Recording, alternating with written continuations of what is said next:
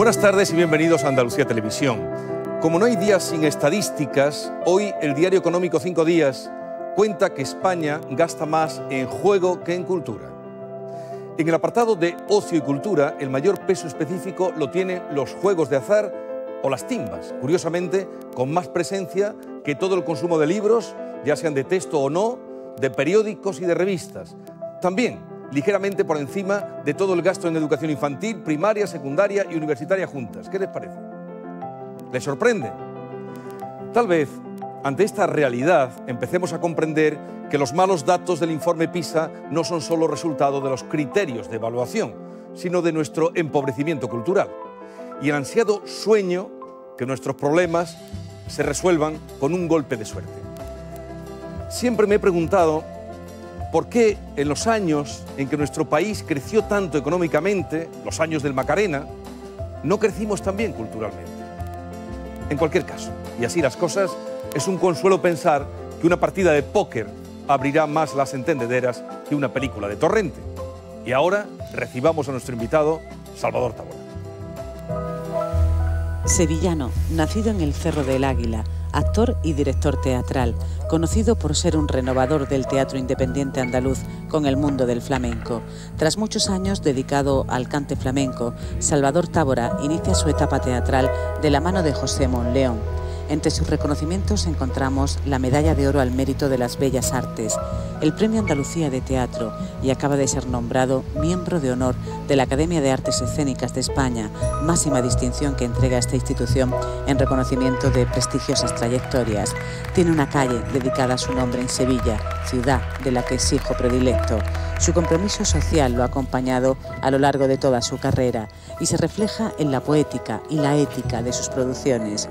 Insiste en que el flamenco tiene que recuperar su poder de comunicar inquietudes, aspiraciones, todo lo que una sociedad moderna necesita, que es el bienestar social y la justicia social. Es un activista cultural y el teatro es la vida para él. La cuadra es su fábrica de ideas y enfrente está el Teatro Salvador Tábora, revivido por una cooperativa en su barrio de toda la vida, una antigua fábrica donde trabajó de niño.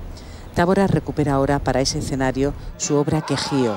Nunca se rinde, ni siquiera ante la artrosis, aunque dice vivir atormentado por la imaginación y no estar seguro de nada. Salvador Tábora, buenas tardes. Buenas tardes. Qué alegría de tenerte aquí. Encantadísimo. Y en vísperas de, un reestreno. Para mí es un estreno. Es un estreno porque es reencontrarlo. Y reencontrarlo me he encontrado con algo que parecía que se había ido y está. Es más, te digo, no me ocurrió nunca. En los ensayos siempre me caen lágrimas.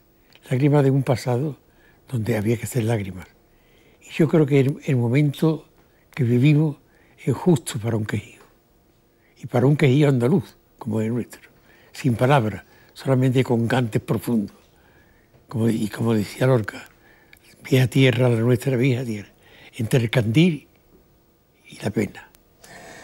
El próximo día 15 de febrero se cumplen 45 años, 45, del estreno del espectáculo Quejío y el nacimiento entonces de La Cuadra, compañía andaluza que en estos años ha llevado el nombre de Andalucía por todo el mundo, por los principales teatros de ópera, por los festivales de mayor prestigio. Y ahora el 15 de febrero, coincidiendo con esos 45 años, pones en pie, Salvador, este quejío. Y de eh, aquel quejío, eh, con cantes flamencos, tenía una lectura distinta a la que tiene hoy. ¿Qué lectura eh, haces hoy de quejío? Yo creo que tiene la misma. Van a cambiar los intérpretes. Ya no somos los que éramos. Pero por suerte hemos heredado algunos, algunos que se entregan tal como nos entregábamos nosotros. Yo creo que quejío, este quejío que a mí me ha sorprendido, a mí, porque claro, yo nunca lo había visto, siempre había estado dentro, sí. y ahora lo he visto. Y de verdad me parece que es uno de los espectáculos, no que hacen Andalucía, sino que mantienen Andalucía, y mantienen una Andalucía reivindicativa, una Andalucía de belleza, una Andalucía de la cultura andaluza, que lo lleva todo, donde la palabra es lo de menos, donde lo demás es el grito es en las manos, en la, cabeza, es en la lágrima en los ojos, es tirar de ese bidón que nos aprisiona todo desde siglos. Quería mm, yo no vi Quejío cuando se estrenó. Yo tuve ocasión de ver un fragmento que hicisteis, eh, no sé en qué año fue, en el Teatro Central.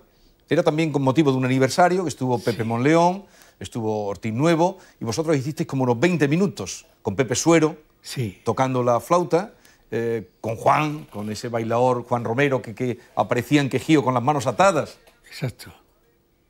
Juan está ahora, pero está con la flauta. Mm. El único que queda es Juan. El de- del espectáculo, Juan nada más. De los primeros, Juan Romero, Juan Romero. de los primeros. Y Jaime Burgo, el, el guitarrista. Pero los demás se han acoplado todos de tal manera, les ha llegado todo. Yo me parece que va a ser, que iba a ser una, una especie de reencuentro, no con un espectáculo, sino con una Andalucía que luchó lo, lo- lo máximo por sus necesidades. Sí. Pero ¿y esa lucha dio el resultado que tú esperabas que diera? No. De ahí la decepción. Teníamos la ilusión de una, de una Andalucía clarísima. Una Andalucía no por, no por- la internacionalidad que ha, que, que ha tomado Quejío, sino una Andalucía que cuando veníamos en las furgonetas, Mm. pasábamos por Despeñaperro, pensábamos, ya entramos en Andalucía. Ahora ha desaparecido hasta Despeñaperro. No notamos ningún cambio. Y Andalucía tiene que cambiar porque es un- una nación donde merece la pena luchar por ella.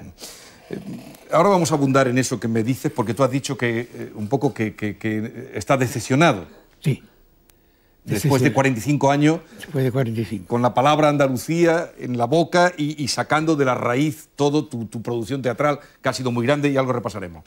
Pero quiero que sepan, quienes no saben de Quejío por su juventud, que ese espectáculo se estrena en el 72 en el Teatro Magallanes de Madrid. Madrid. Un teatro que era un poco pues, de, de- de, mm, pequeños eh, espectáculos minoritarios, ¿no? Sí, experimentar. experimentales, a- a, un poco escondidos de la censura franquista que era férrea en aquella época. Sí, pero hi- hicimos una trampa. Una trampa muy bonita. ¿Qué hicisteis? Como era un espectáculo flamenco y el flamenco se tiene como allá al lado, nosotros anunciamos espectáculo flamenco a la una y media de la noche. Un espectáculo flamenco a la una y media de la noche eh, podía hacer un tablao y era quejío. Era Quejío. Estudio dramático sobre cante y baile de Andalucía. Va, va a ser la misma, el cartel será la misma. Exactamente. Que era el blanco y negro, porque tú, eh, tú no colocas, según. En fin, aquí tenemos además eh, pues todos los años y todos los espectáculos de la cuadra, ya incluso más en, este, eh, en estos dos libros eh, preciosos que se editaron. Pero el color no llega a la tábora o tú, a, a la cuadra y tú no colocas el color hasta el manchón aquel que aparecía en Andalucía Era Mar. Andalucía amarga. Lo demás eran negro y blanco. Toda la sangre de la migración aparecía en un, en un cartel blanco. Hasta entonces fue todo blanco y negro. Y ahí empezó el color. Ahí empezó el color. Y después se ha multiplicado el color. Sí, sí, luego color. ya hasta llegar a, en fin, a, a espectáculos grandiosos como Ópera Carmen, que, que ahora también hablaremos de ella. Pero mm, resulta que de ese quejío, que se estrena a la una y media de la madrugada como espectáculo flamenco en Madrid, se hicieron en poco más de dos años 750 funciones. 750 funciones. En Andalucía, solo 20. Veinte y tantas. 20 y Solo- pocas. Solo 20. ¿Y tú qué sentías? Se decía, en mi tierra no me entienden, en- eh, andando por el mundo, por Francia, recorriendo Portugal de arriba abajo. No solamente no me, no, no me entiende, sino hay quien no me quiere entender. Eso ha sido una lucha constante de, de los espectáculos nuestros. Andar por el mundo para llegar a Andalucía parece ser que existía como que lo nuestro no era valorable. Sigue ocurriendo, ¿no? Era tan nuestro no era valorable. Por eso vuelvo otra vez ahora, porque yo creo que es el momento de volverlo a poner, de volver lo que era aquel momento y lo que significó en aquel momento para Andalucía y para todo, para todo el mundo, claro. Ahí hay una imagen ahora de precisamente de Quejío, que la escenografía es mínima, era un bidón en el centro, un bidón que transportabais en los, Un- una- Los cuerdas del, puer- del puerto, unas cuerdas, un candil, había también, ¿no? cuatro candiles. Cuatro candiles. Cuatro candiles era la luz y unas latas, unas latas en bombilla de 40, que era lo fundamental. No había foco. Lo vamos a poner igual que lo hicimos en aquel tiempo.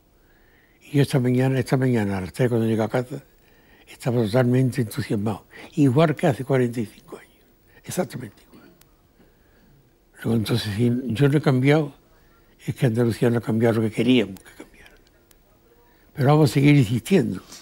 Pero, ¿y, por, qué no hemos, por qué no ha cambiado? Eh, eh, no lo sé, porque se sigue el cante grande, parece que no, no es actualidad, por muchas circunstancias. En el espectáculo Andalucía Amarga, que eh, yo es el primero que veo de la cuadra y cuando me entero que existe Tábora y que lo vi en Barcelona, porque los espectáculos de, de la cuadra luego ya empezaron a, a, recorrer Andalucía, a verse mucho en Andalucía y a triunfar en Andalucía también. Pero no, no, no hay mucha... No, que, no quejío. No, quejío no, quejío, fueron, quejío fue muy poco y en Sevilla mm, se hicieron también muy pocas funciones. En los colegios mayores. Sí. Los... Eh, pero eh, Andalucía Amarga terminabas cantando el, himno de Andalucía. Sí. O sea, que había un compromiso ahí a fondo porque había que conquistar eh, la autonomía. Y los actores, que estabas tú, y estaba también eh, una actriz, ahí había una mujer, sí. mmm, que hicieron varias, tu hija lo hizo también, Concha, pero también luego otra, otras actrices, terminabais cantando el himno de Andalucía. El himno de Andalucía. La primera vez que se cantaba en un teatro, el himno de Andalucía. Bueno, también ahora la única, el único sitio que se canta, o sea, que se toca, es a la salida de los dolores del barrio. Uh -huh. La salida de la Virgen del barrio, del cerro. Del cerro. Se toca el himno de Andalucía. El único, la única salida de... De hermandades. De hermandades que... Eso también es... Uh -huh. Me parece que es una conquista. Aunque sea pequeña. Uh -huh. Desde un barrio. Pero yo creo que los barrios es el futuro del país. Bueno, tu empeño de llevar al barrio, en este caso, el Cerro del Águila, Exacto. un barrio de trabajadores del que tú no has salido allí, ha estado tu fábrica de sueños, porque eh, es que tú fuiste muy adelantado, no sé luego si esos, quien sabe algo de teatro, sí lo tiene que reconocer, porque el primero que mete máquinas en escena, herramientas que hablan por sí solas, artefactos que se, que se eh, fabrican expresamente para su sentido poético y teatral, fuiste tú, mucho antes que la Fura del Baus, mucho antes que todas las compañías que vinieron después. Es que de todas maneras te digo una cosa, eh, la profesión y el arte no puede haber un artista por un lado y su situación por otra. Yo creo que ahora me han nombrado académico de, de las artes escénicas. Sí, hace un par de semanas. Un par de semanas. Y yo creo que está muy bien, artes escénicas. Eh, pero el arte tiene que tener un, una perfecta sincronización con quien lo hace. No puede andar el artista por un lado y la persona por otro. Entonces yo, mi vida, es una vida de taller, una vida del matadero, una vida del Cerro del Águila. Eso cuando pensaba en un espectáculo aparecía, porque aparecía mi sentimiento, mi vivencia, no mis lecturas, sino mi vivencia. Y claro, es una, muy fácil de explicarlo, aunque sea muy duro explicarlo. El teatro, el teatro en general, no tiene más que una historia, que es literaria y burguesa. Nosotros éramos un grupo de un barrio, no teníamos nada ni, de, de, de, literatos sí. ni de burgués. Entonces nos salió un nuevo lenguaje, un lenguaje distinto. Hoy está reconocido en el mundo, pero es un lenguaje nuestro, uh -huh. de Andalucía, de Sevilla y del Cerro de la Guisa. Y de, y de Tábora. Sí, bueno. Porque yo, tú fuiste, tú, sí. tú has ido abriendo camino, tú llegaste hasta la ópera Carmen a crear una ópera de cornetas y tambores que, eh, que se paseó por lo y que en la programación competía con todos los grandes títulos operísticos. Sí, sí, sí, en los más grandes teatros de ópera del mundo tú metiste los, las cornetas, los tambores, el caballo y Carmen la cigarrera. Pero era muy fácil, era... No, fácil no era. Bueno, era fácil porque en el tiempo de Carmen el universo musical era las cornetas y los tambores. El universo de, Carmen es ese, el que traímos nosotros, no el que planteó Merimé, que lo planteó literariamente de una manera y se hizo de otra, sino el que pusimos nosotros era todo el universo de Carmen. Y no había, en Carmen no hay ninguna mujer que tenga, digamos, como una, una aureola de frivolidad. Son mujeres como eran las cigarreras. Uh -huh. Las cigarreras fueron las primeras mujeres que en Europa cobraban la vejez. O sea, que con las conquistas que hicieron... las conquistas que hicieron las mujeres y, poder trabajar y, liberarse también económicamente. Y, pasaba por ser una mujer frívola. ¿Y a dónde...? Tú tienes ya 83 años, ¿no? Sí. O sea, fíjate, la, misma edad, eh, invertido los números de cuando empezaste. Sí, parecido. Empezaste con 38 a hacer teatro. Sí, sí, sí. ¿No? Sí. Bueno, pero antes estuvimos en el. Sí, bueno, antes hiciste incluso. El mundo del toda la experiencia me la llevé al teatro, porque el teatro es lo único que puede. Todas las artes caben para pronunciarse en el teatro. Mm. Y cuando desaparezcan todos los medios técnicos que están saliendo para los conciertos y para otras cosas, cuando desaparezca, quedará el espectáculo más puro que puede quedar, que es el teatro. Que el teatro es de piel a piel, de persona a persona.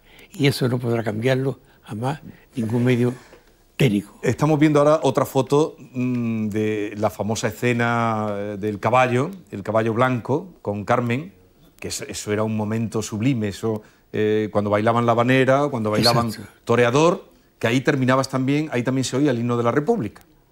El himno de la República porque uno de los acontecimientos más importantes en el tiempo de Carmen fue la muerte que mataron a, Riego, Que se cuenta ahí también, que tú lo, lo, introduces. Y esa que se ve ahora ahí con el caballo, yo creo que estoy como asegurando un poco la continuidad en mi nieta mi nieta María, que es una Carmen... Ya yo lo he visto hacer eh, Carmen también. Eh, de esa función se han hecho casi mil eh, representaciones de esa obra. Y en tu cabeza, ahora vas a hacer quejío y dices que lo ves con una vitalidad enorme, tan pobre de medios como, como lo fue en su día. Y tan grande de expresión. Y tan grande de expresión. Pero ahí había además un riesgo físico. ¿A ti te ha gustado siempre meter en tus espectáculos un riesgo real? Eso viene de una época mía que fue cuando el matadero está frente de mi casa, de pequeño, y un juego para los niños del barrio era saltar las tapias del matadero y torear. Y nos jugábamos la vida por la noche, como un juego, pero nos jugábamos con la vida. Y esa cosa de, esa comunión del arte con el peligro, eso me viene de mis tiempos taurinos. Y ahí están, ahí están, en todo el espectáculo hay un riesgo. Ahí está, estamos viendo una imagen ahora también de los palos, que era eh, el trabajo que haces a raíz de las cartas que se publican o los avances que hubo. Eh, bueno, el libro que escribió Ian Gibson, lo primero que se escribe sobre la muerte de, asesinato, más que muerte, de García Lorca. Y, y, tú haces los palos. Y ahora, ahora se está hablando mucho del entierro de García Lorca y ya nosotros en los palos hablamos de los dos que lo enterraron a Lorca con él. Mm. Ese espectáculo también era tremendo. Ahí estamos todavía en ese blanco y negro que luego empieza a evolucionar porque tú, tú siempre en cada espectáculo has ido metiendo algo nuevo. Los, los perros de las vacantes, entrar también en el teatro clásico, pero traído a tu terreno. Sí. Pues era un espectáculo con Manuela Vargas. Con Manuela Vargas, que estaba impresionante. Y, y las, las, vacantes, que yo es donde entendí todo el teatro griego, las vacantes, cuando tú pones ese, esas danzas de mujeres, eh, ahí entendí la, la obra de las vacantes. Y luego los perros la vacante donde mayor, digamos, escándalo formó, para bien, fue en Grecia, fíjate. ¿En Grecia? En Grecia. Donde nace la tragedia. Donde nace la tragedia.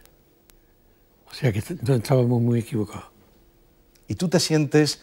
Bueno, tú no has hecho esto para que te lo reconozcan, porque tú has estado siempre trabajando, metido entre... trabajando en escena físicamente. Pero muy recogido. Mm, sí, sí, siempre. Yo ya mm, voy a hacer cosas para que vaya. Yo no voy a ir, ¿no? Pero me cansé de Nueva York, de Londres, de Berlín, porque me han preguntado algunas veces en esos escenarios qué hacía yo allí, qué hacía, teatro. Yo no era para hacer teatro, yo había otras cosas más importantes que el teatro. Y yo quiero recogerme, mis espectáculos y mis producciones que salgan por todo el mundo, recogerme y volver a la mesa camilla. Pero sin dejar... Sin dejar de pensar. Sin dejar de pensar. La cabeza que piense, pero el cuerpo en la, mesa camilla. Y los espectáculos que vayan saliendo. ¿Y qué tienes? si ahora la administración, si la administración lo entendiera... La administración. La administración lo entendiera, podríamos hacer eso en el barrio. como un centro de lanzar un nuevo tipo de teatro. Una forma única de hacer teatro en el mundo Entonces, claro. Y que ha conectado con el mundo. Ha, conectado bien. Donde, has, donde tú has ido, has conectado. Tú precisamente has eh, provocado siempre las emociones en cualquier país, en cualquier auditorio. Tú has tenido mm, esa, esa capacidad, ese talento y esa manera de, hacerlo desde el escenario. Ahora, desde que ha aparecido el anuncio de Quejío en el barrio, están llamando de todos los lugares del mundo para volver con Quejío. Con Quejío. Eh, se estrena el día 15, tomen nota, el día 15 de febrero, la semana que viene, es el día que se cumplen los 45 años en el Teatro Salvador Tábora, en el, eh, en el Cerro del Águila. Luego estará 15, 16, 17, 18 y 19 continuadamente. Volverá luego el 23 de febrero, el 24, 25, 26 y el 28 de febrero, el Día de Andalucía, lo vais a hacer en el Cervantes de Málaga. de Málaga. Y a partir de ahí ya lo que... Vamos a Córdoba también, se va a Córdoba. Y a partir de ahí lo que, lo que dé. Lo que dé. Creo que va, a dar mucho. Y creo que necesita. Aquí, dime, recuérdame alguna letra de las que se cantan en Quejío. De las que se cantan en Quejío. Pasito que doy para adelante, pasito que doy para atrás. Campanita que no suena, algún día sonará. Ahí estamos viendo un fragmento.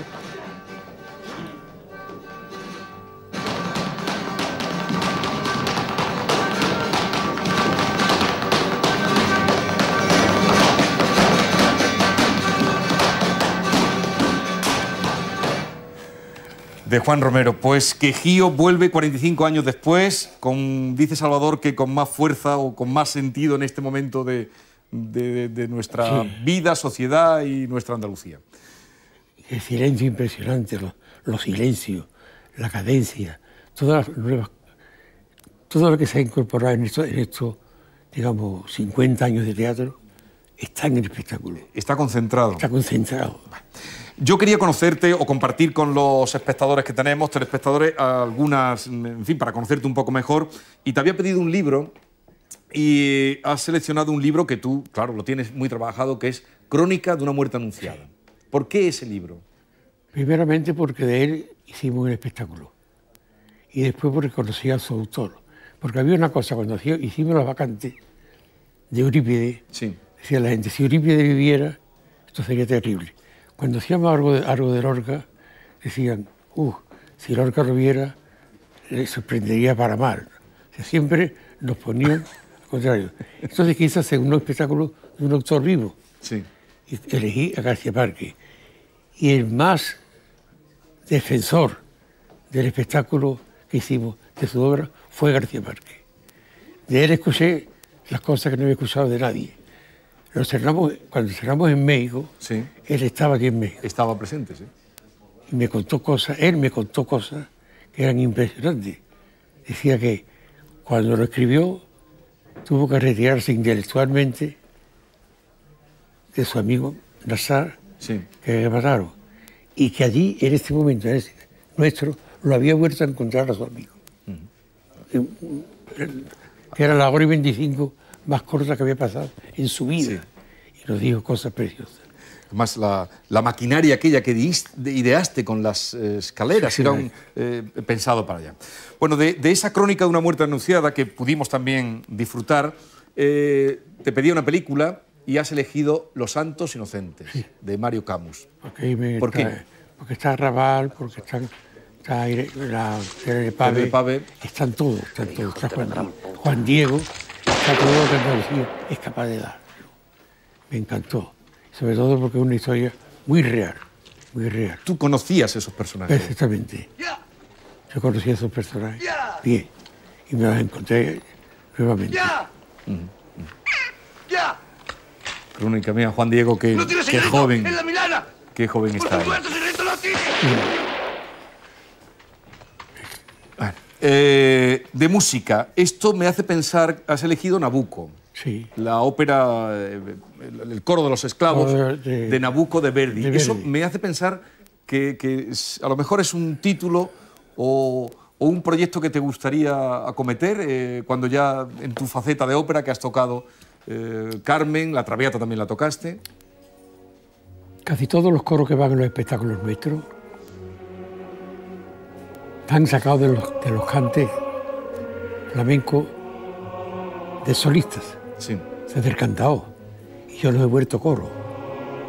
Entonces, para poner un coro, yo me he acordado siempre de Nabucco de Verdi. Y siempre me tenía la idea de qué cante, de qué raíz habría sacado Verdi ese coro, Sí. porque es una cosa, una belleza, una grandiosidad. Y por eso, Nabucco para mí es el coro, la música que, que me encanta. Verdi en realidad en casi todo. Pero tú, tu manera de trabajar, cuando tú eh, empezabas a idear un espectáculo, me contabas que siempre había un motivo musical. Casi siempre. Casi, un motivo musical Y de sobre, ahí el, aparecía. sobre el que ibas trabajando. Y Trabajando, trabajando.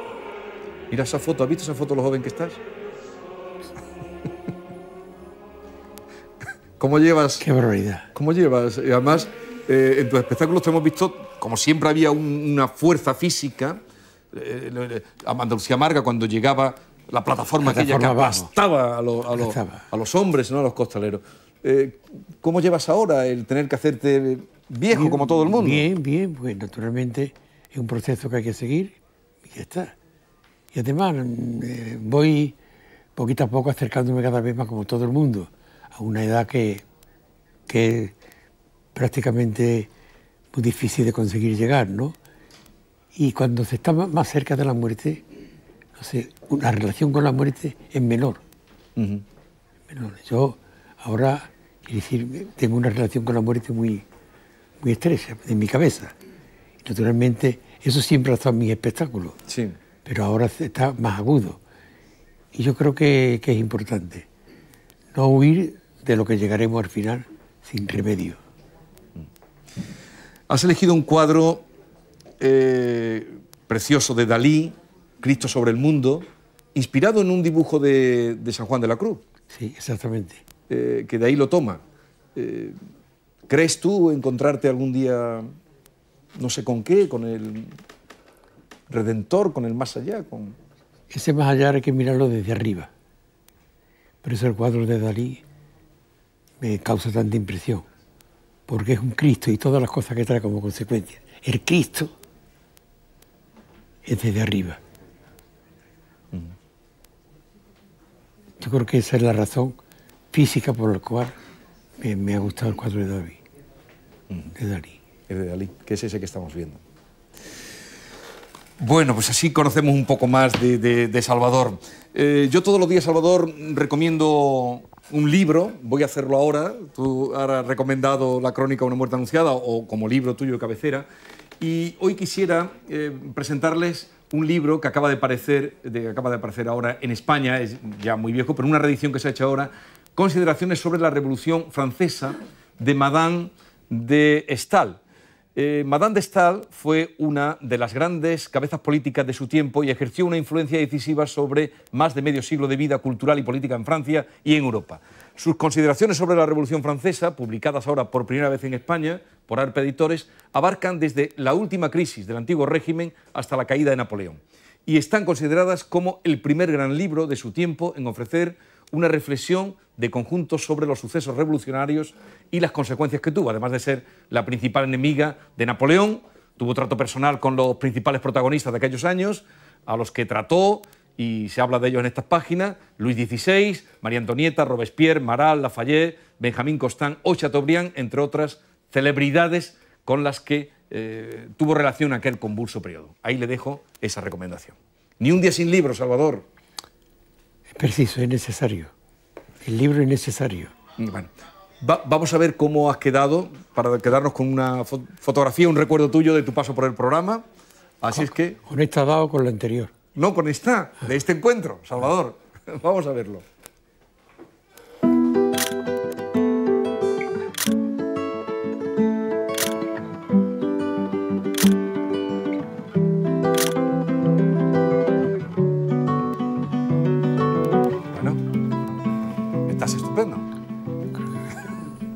Que estaba peor.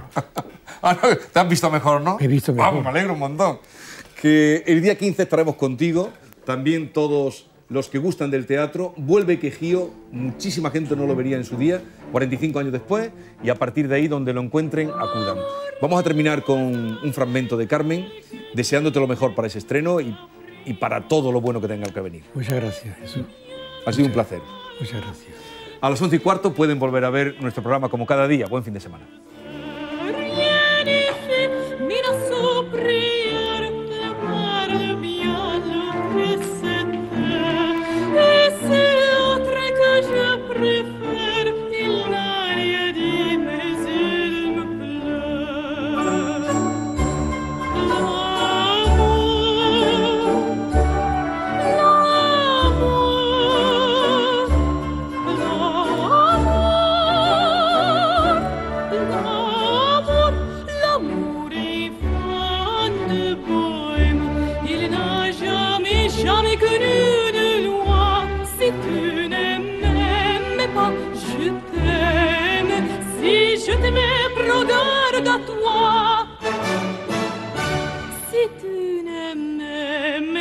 Si tu ne m'aimes